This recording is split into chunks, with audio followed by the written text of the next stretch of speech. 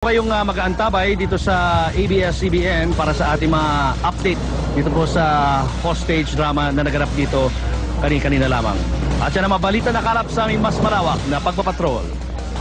Kami ang inyong patrol ng Pilipinas. Naglilingkod sa inyo saan man sa mundo.